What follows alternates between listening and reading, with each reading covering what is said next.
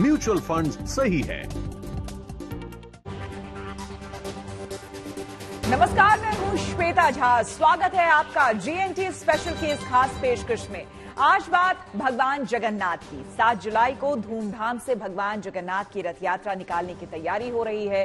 पुरी से लेकर अहमदाबाद तक में तैयारी अंतिम चरण में है। इस रथ यात्रा को लेकर लोगों में अभी से गजब का जोश देखा जा रहा है। आखिर भक्तों में भगवान जगन्नाथ को लेकर गहरी आस्था की वजह क्या है? भगवान जगन्नाथ की वो कैसी महिमा है जो भक्तों को अपनी ओर खींच लेती है? ये सब जानने के लिए यात्रा निकलती है। उस दौरान आम से लेकर खास तक हर कोई भक्ति के रंग में रंगा नज़र आता है। भगवान जगन्नाथ की महिमा अपरंपार मानी जाती है। इसके पीछे की वजह जानने के लिए देखिए हमारी उड़ीसा की पुरी है और भगवान जगन्नाथ श्री राधा जी और श्री कृष्ण के युगल स्वरूप का संयुक्त स्वरूप हैं। यानी भगवान जगन्नाथ राधा देवी और भगवान कृष्ण के युगल स्वरूप का प्रतीक हैं और भगवान कृष्ण उनके एक अंश माने जाते हैं। भगवान जगन्नाथ की महिमा अपरंपार है। मान्यता है कि शुद्ध मन से पूजा करने से भगवान जगन्नाथ अपने भक्तों की सभी मनोकामनाएँ पूरी करते हैं। भगवान जगन्नाथ की सच्चे मन से पूजा करने पर किसी भी महत्वपूर्ण काम में आने वाली किसी भी तरह की बाधा को आसानी से दूर किया जा सकता है।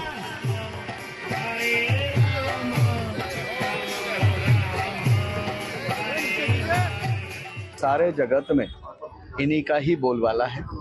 यही है जगत के नाथ Jagannath lord of the universe इन्हीं का शरण में जो आता है वो कभी खाली हाथ नहीं जाता। है जगन्नाथ महाप्रभु को पूजा विधि यहाँ पे तंत्र मंत्र तंत्र में किया जाता है। और सबसे बड़ी बात यह है, हम सभी भक्त समाज को ये बोलेंगे, जिनको कोई कुछ भी नहीं आता है, मंत्र नहीं आता है, कुछ भी नहीं आता है, महाप्रभु को भाव पूजा करिए और भाव पे अब महाप्रभु को आपके डोरी में बाँध सकते हैं। ये भाव प्रिय भगवान है, ये भक्त प्रिय माधव है।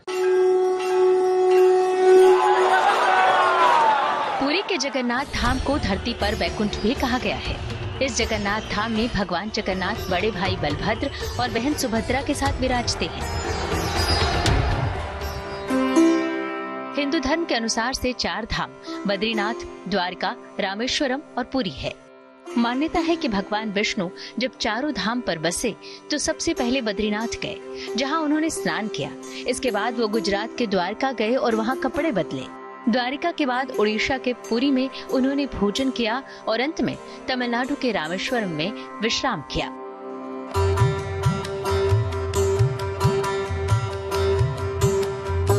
पुरी में भगवान विष्णु ने भोजन किया था, इसलिए यहाँ के जगन्नाथ मंदिर के प्रसाद का बहुत ज़्यादा महत्व है। जो महाप्रसाद है, जगन्नाथ महाप्रभु को यहाँ पे हमारे महाप्रभु छप्पन भोग खाने वाले भगवान है। ये छप्पन प्रकार के भोग महाप्रभु भोजन करते हैं और इस प्रसाद जो है ना, जगन्नाथ जी का नाम से भी जगन्नाथ महाप्रसाद सबसे बड़ा है। ये जगन्नाथ महाप्रसाद जगत पसारे हाथे सब, समस्त भक्त समाज, पूरे भारत नहीं, पूरे विश्व में यही जगन्नाथ महाप्रभु का निर्माल्य और महाप्रसाद को खाने के लिए वो इच्छुक रहते हैं। तो इसके लिए जगन्नाथपुरी में सबसे बड़ा जो महत्व रखता है, वो जगन्नाथ महाप्रभु का महाप्रसाद पुरी के इस मंदिर में भगवान जगन्नाथ, उनके भाई बलभद्र और बहन सुभद्रा की काठ, यानी लकड़ी की मूर्तियाँ हैं।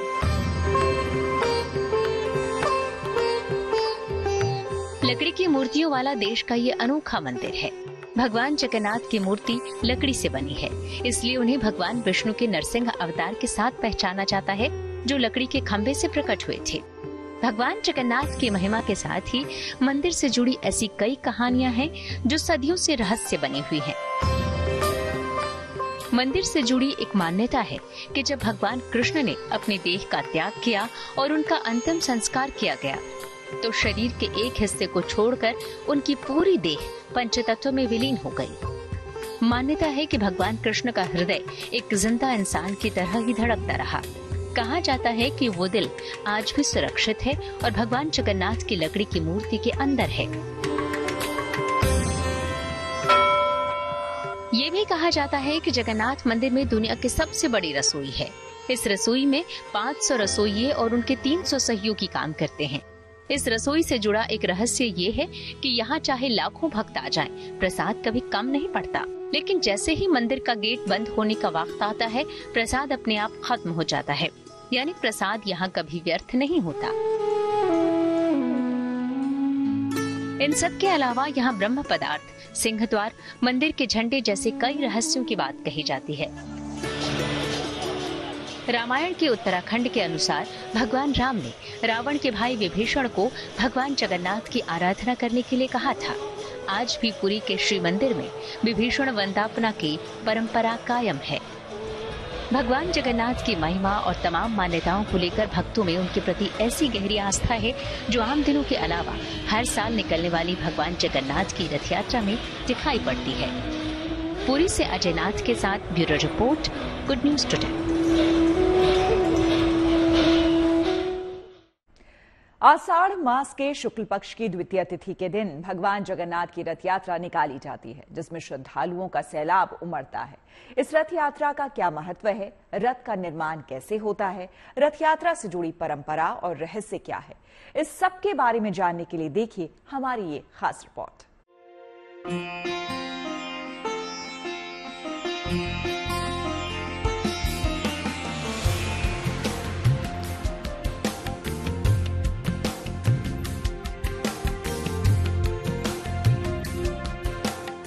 परंपरा, संस्कृति और श्रद्धा।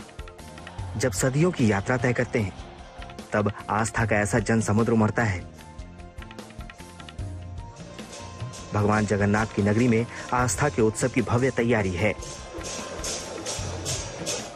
हर साल की तरह इस साल भी भगवान बलभद्र, बहन सुभद्रा और भगवान जगन्नाथ के रथों का श्रृंगार देखते ही बनेगा। पूरी एक बार फिर उस रथ यात्रा का साक्षी बनेगी। जिसकी गाथाओं का सिरा पुराणों से भी गुजरता है। भगवान जगन्नाथ की रथ यात्रा की इतनी ज़्यादा महिमा इसलिए है क्योंकि एकमात्र मौका होता है जब आषाढ़ शुक्ल द्वितीया तिथि को भगवान जगन्नाथ अपने मंदिर से निकल करके अपने भक्तों के बीच में जाते हैं और उनकी समस्याओं को दूर करते हैं। चूँकि भगवान स्वयं अपने भक्तों के पास जाते हैं, इसीलिए ये अवसर बहुत महत्वपूर्ण हो जाता है। पुरी में भव्य रथ यात्रा का संयोग भले ही आषाढ़ में बनता है, लेकिन रथ के निर्माण से लेकर उसके श्रृंगार तक की यात्रा किसी तपस्या से कम नहीं है। बसंत पंचमी में होती है शुरुआत। बसंत पंचमी पर ही रथ बनने के लिए लकड़ी का चयन होता है। रथ यात्रा के तीनों रथ नीम की लकड़ी के बने होते हैं। रथों को बनाने का काम अक्षय तृतीया से शुरू होता है। और दो महीने के कठिन परिश्रम के बाद जाकर रथ तैयार होता है। रथ के लिए लकड़ी को सोने की कुल्हाड़ी से काटा जाता है। रथ के निर्माण में सीधी और शुद्ध लकड़ी का ही प्रयोग होता है। सोने की कुल्हाड़ी से प्रतीकात्मक निशान बनाया जाता है। रथ निर्माण में कील धातु का इस्तेमाल नहीं होता है। रथ बनाने वाले दिन में एक बार करते हैं सादा भोजन। पूरी तरह सात्विक तरीके से रहते हैं रथ बनाने वाले। यात्रा के लिए तीन भव्य रथ तैयार किए जाते हैं। तीनों के अलग अलग नाम होते हैं। बलराम के रथ का नाम ताल ध्वज होता है। सुभद्रा के रथ का नाम दर्पदल या पदरथ होता है। भगवान जगन्नाथ के रथ को नंदी घोष या जय घोष कहा जाता है। पुराणों में रथ यात्रा के फल को सौ यज्ञों के बराबर बताया गया है सकन पुराण में कहा गया है कि रथ यात्रा में जो व्यक्ति श्री जगन्नाथ जी के नाम का कीर्तन करता हुआ गुंडीचा नगर तक जाता है, वह पुनर्जन्म से मुक्त हो जाता है कोई भी व्यक्ति भगवान के नाम का कीर्तन करता हुआ रथ यात्रा में सम्मिलित होता है, उसकी सारी मनोकामनाएँ पूरी होती हैं। रथ यात्रा में भाग लेने मात्र से संतान संबंधित सारी समस्याएँ दूर हो जाती हैं। यही वजह है कि जब पूरी के पवित्र मार्गों से रथ यात्रा निकलती है तो भक्त और भगवान एकाकार नज़र आते हैं। रथ यात्रा की महिमा के बारे में स्कंद पुराण कहता है कि जो कोई भी भगवान का कीर्तन करता हुआ रथ यात्रा में सम्मिलित होता है, वो पुनर्जन्म के बंधन से मुक्त हो जाता है। रथ यात्रा में केवल शामिल होने मात्र से पापों का प्रायश्चित होता है और बहुत सारे यज्ञों का शुभ फल प्राप्त होता है। भक्ति का भाव और भक्तों का उल्लास पूरी रथ यात्रा की आत्मा है। भगवान जगन्नाथ जी की रथ यात्रा आषाढ़ शुक्ल द्वितीय को जगन्नाथपुरी में आरंभ होती है। रथ यात्रा में भगवान जगन्नाथ वर्ष में एक बार जन समाने के बीच जाते हैं। भगवान जगन्नाथ जी की रथ यात्रा दशमी तिथि को समाप्त होती है। रथ यात्रा में सबसे आगे बलराम जी चलते हैं। उनके पीछे माता सुभद्रा और सुदर्शन चक्र होते हैं और अंत में श्री जगन्नाथ जी सबसे पीछे चलते हैं। रथों पर विराजमान होकर भगवान मौसी के घर गुंडीचा मंदिर जाते हैं। देखिए, ये तो हज़ारों साल पुराना है और सत्य युग से महाप्रभु का ये परंपरा चलता आ रहा है, जो ये रथ यात्रा है, ये इस पवित्र रथ यात्रा में महाप्रभु रत्न सिंहासन से निकल के बाहर चले आते जो ग्रैंड रोड है, जो श्री मंदिर से ले लेके गुंडीचा मंदिर तक रथ चलता है और उसी यात्रा में बहुत सारे करोड़ों दर्शनार्थी का समागम होता है, जो महाप्रभु को वो दर्शन करते हैं। और इस पवित्र रथ यात्रा में महाप्रभु को दर्शन करने करने से रथे सुबामन दृष्ट पुनर्जन्म न लभ्य थे जो रथ के ऊपर भगवान जगन्नाथ जी को दर्शन करते उनको पुनर्जन्म नहीं होता है, उनको वैकुंठ प्राप्ति होता है। ये भगवान जगन्नाथ जी का रथ यात्रा का महत्व है। कहते हैं, जगन्नाथ रथ यात्रा में शामिल होना बड़े सौभाग्य की बात है। लेकिन जिन्हें ये सौभाग्य नहीं मिलता, वो भी इस पवित्र यात्रा का शुभ लाभ पा सकते हैं। अगर आप रथ यात्रा में शामिल नहीं हो पाते, केवल रथ यात्रा के दर्शन भी करते हैं और रथ यात्रा वाले दिन भजन कीर्तन करते हैं तो आपको निश्चित रूप से लाभ होता है। जगन्नाथ मंदिर से हर साल भव्य रथ यात्रा का आयोजन किया जाता है, जिसमें शामिल होने के लिए देश विदेश से बड़ी संख्या में श्रद्धालु पहुँचते हैं। यहाँ रथ यात्रा के लिए रथ का निर्माण तो होता ही है इस मंदिर में मूर्ति बदलने की परंपरा भी है साल में दो अषाढ़ लगने पर मूर्तियाँ बदल दी जाती हैं। अमूमन 12 से 15 साल में एक बार मूर्तियाँ बदल दी जाती हैं। मूर्तियों को बदलने की इस परंपरा को नवकलेवर कहा जाता है, जिसका अर्थ होता है नया शरीर भगवान जगन्नाथ, बलभद्र, सुभद्रा और सुदर्शन की पुरानी मूर्ति को बदलकर मंदिर में नई मूर्तियाँ स्थापित की जाती हैं। यही नहीं, जब मंदिरों में मूर्तियाँ बदली जाती हैं तो शहर की बिजली काट दी जाती है। जिस पुजारी को मूर्तियाँ बदलने की ज़िम्मेदारी मिलती है, उसकी आँखों पर पट्टी बाँध दी जाती है। मूर्तियों के लकड़ी से बने होने के चलते उनके क्षय होने की आशंका होती है। इसीलिए वो एक तय समय के बाद बदल दी जाती है। ज़ाहिर है, ये कुछ ऐसी परंपराएँ हैं, जो जगन्नाथ मंदिर को कई दूसरे मंदिरों से अलग बनाती है। पुरी से अजयनाथ के साथ bureau report, good news today. वैसे आपको बता दें कि देश में कई जगहों पर भगवान जगन्नाथ की रथ यात्रा धूमधाम से निकाली जाती है। इस बार 7 जुलाई को रथ यात्रा निकाली जाएगी, जिसकी पुरी से लेकर अहमदाबाद तक ज़ोर शोर से तैयारी हो रही है। रथ यात्रा शांतिपूर्ण तरीके से निकल सके, इसको लेकर सुरक्षा पर खास ध्यान दिया जा रहा है।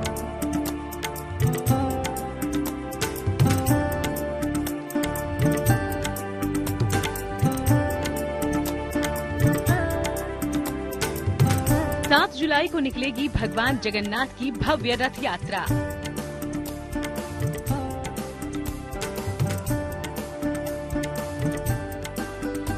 रथ यात्रा के लिए पुरी से अहमदाबाद तक ज़बरदस्त तैयारी। ओडिशा के पुरी में रथ निर्माण को अंतिम रूप दिया जा रहा है। इसके बीच वहाँ भक्तों के पहुँचने का सिलसिला भी शुरू हो गया है। अभी से उनमें रथ यात्रा को लेकर ज़बरदस्त उत्साह है। इतना दिन के बाद जगन्नाथ आएँगे ना बदन लोग हम लोग से देखेंगे। और जो लोग मतलब इतना इतना बरिश जो मतलब देखने के लिए दर्शन के लिए जो रुका है अभी देखेंगे जगन्नाथ को सब लेके देखेंगे एक साथ में। और भक्त हमारा मतलब जगन्नाथ को हम लोग दर्शन करेंगे इतना पुण्य हम लोग तो कभी नहीं मिलेगा। बार आशीर्वाद महसूस हुआ है उसी उसी में भगवान ने बोला आज भी तो आएँगे इधर। मतलब ये पहली बार या फिर नहीं मैं यहाँ पर थर्ड टाइम आया हूँ। तीसरी बार घूमने के लिए आया हूँ भगवान दर्शन के लिए। ज्येष्ठ पूर्णिमा के दिन भगवान जगन्नाथ, बहन सुभद्रा और बड़े भाई बलभद्र को गर्भगृह से बाहर लाकर स्नान कराया जाता है। माना जाता है कि इसके बाद भगवान जगन्नाथ बीमार पड़ जाते हैं और उन्हें बुखार आ जाता है। बीमार होने के बाद भगवान पंद्रह दिनों तक शयन कक्ष में विश्राम करते हैं। इसके बाद आषाढ़ शुक्ल पक्ष की द्वितीय तिथि को वो स्वस्थ होकर बाहर आते हैं। इस खुशी में भव्य रथ यात्रा निकाली जाती है। खास बात ये है कि इस बार पुरी में रथ यात्रा के अवसर पर दुर्लभ संयोग बन रहा है। दरअसल इस साल भगवान की रथ यात्रा नव यौवन दर्शन और नेत्र उत्सव की शुभ तिथि एक ही दिन पड़ रही है। इसके पहले 1909 और 1971 में ये शुभ संयोग बना था। लिहाजा इस बार पुरी की रथ यात्रा और भी दिव्य होने वाली है। इस बार रथ यात्रा दो दिन हो रहा है इसलिए, क्योंकि एक दिन में तीन दिन का काम हो रहा है। जगन्नाथ जी का पर्दा खुलेगा, फिर नेत्र उत्सव नव यौवन दर्शन और साथ ही साथ रथ यात्रा एक ही दिन में हो रहा है। इसलिए रथ में महाप्रभु आने के लिए शाम को पाँच बज जाएगा। पाँच के बाद अगर रथ चलेगा तो थोड़ी दूर चलेगा। इसके बाद फिर दूसरे दिन रथ यात्रा होगी। पुरी के अलावा और जगह भी। भगवान जगन्नाथ की रथ यात्रा की भव्य तैयारी अपने आखिरी चरण में है। अहमदाबाद में भी 7 जुलाई को भगवान जगन्नाथ की एक रथ यात्रा धूमधाम से निकालने की पूरी तैयारी है। रथ यात्रा यहाँ शांतिपूर्ण तरीके से निकल सके, इसके लिए पुलिस प्रशासन मुस्तैदी बरत रहा है। यहाँ केंद्रीय गृह मंत्री अमित शाह मंगला आरती करेंगे। भगवान जगन्नाथ की एक सौ रथ यात्रा को लेकर सारी तैयारियाँ पूर्ण हो चुकी है और अब से तीन दिन जो है पूरा जो कार्यक्रम चलेगा, भगवान जगन्नाथ सात जुलाई को जो है अहमदाबाद के नगर भ्रमण पे निकलेंगे, तब तक के लिए सारी तैयारियाँ हो चुकी हैं। पूरी तरह से चुस्त पुलिस बंदोबस्त जो है वो लगाया गया है। पुलिस के, प्रशासन के द्वारा जो है कोई भी प्रकार की चूक न रह जाए, उसके लिए आज रिहर्सल भी किया गया। और तकरीबन अठारह हज़ार से ज़्यादा पुलिसकर्मी जो हैं पूरे रूट पे रहते हैं। 16 किलोमीटर लंबा ये रूट है, जिसमें भगवान जगन्नाथ, उनकी बहन सुभद्रा और साथ ही भाई बलभद्र जो है वो नगर यात्रा पे निकलते हैं और भक्तों के पास जाके उनको दर्शन देते हैं। साल में सिर्फ़ ये एक दिन होता है कि जब खुद भगवान अपने भक्तों के पास जाते हैं और उनको दर्शन देते हैं तो उसके लिए सारी तैयारियाँ हो चुकी हैं। रथ यात्रा को लेकर सुरक्षा व्यवस्था पर खास ध्यान दिया जा रहा है। खुद गुजरात के डीजीपी विकास सहायक पुलिस बल के साथ सुरक्षा व्यवस्था का जायजा ले रहे हैं। संपूर्ण ढंग से तैयार है। कि रथ यात्रा का जो पूरे, पूरी जो व्यवस्था है, वो शांतिपूर्ण माहौल में संपन्न होगी। अभी अहमदाबाद शहर का माहौल बहुत ही अच्छा बहुत सकारात्मक, बहुत ही सकारात्मक है। हमको सभी समाज के लोगों से हर तरह का सहयोग, मदद मिल रहा है और अलग अलग जगह हम लोग जाके मीटिंग्स भी कर रहे हैं, मोहल्ला मीटिंग्स कर रहे हैं, लोगों से मिल रहे हैं, आगेवानों से मिल रहे हैं। माहौल बहुत अच्छा है और मैं गुजरात पुलिस के एचओपीएफ की तरह आप सबको आमंत्रण करता हूँ कि खूब बड़ी संख्या में आप इस रथ यात्रा में जुड़ाएँ। यात्रा मार्ग के संवेदनशील इलाकों में क्राइम ब्रांच की टीम सुरक्षा व्यवस्था को लेकर पैदल पेट्रोलिंग 3D मैपिंग एआई समेत कई तकनीक का इस्तेमाल कर रही है सुरक्षा व्यवस्था में भी कोई कमी न रह जाए उसके लिए आज रूट रिहर्सल भी हो चुका है और अब पुलिस जो है वो हेलीकॉप्टर से पेट्रोलिंग के साथ साथ ड्रोन और थ्री मैपिंग के ज़रिए जो है पूरी तरह से ध्यान रखेगी कि जो संवेदनशील इलाके हैं, वहाँ पे किसी भी प्रकार की चूक ना हो और रथ यात्रा शांतिपूर्ण माहौल में खत्म हो तब तक के लिए जो है पूरी व्यवस्था कर ली गई है। 16 किलोमीटर की ये रथ यात्रा कितनी भव्य होगी, इसका अंदाज़ा इसी से लगाया जा सकता है कि रथ यात्रा में 18 हाथी 101 ट्रक और 30 अखाड़े शामिल होंगे। पुरी से अजय कुमार और अहमदाबाद से ब्रजेश दोषी के साथ bureau report, good news today. तो इसी के साथ जीएनटी स्पेशल में मेरे यानी कि श्वेता झा के साथ फ़िलहाल इतना ही। देश दुनिया के तमाम पॉजिटिव खबरों के लिए आप देखते रहिए गुड न्यूज़ टुडे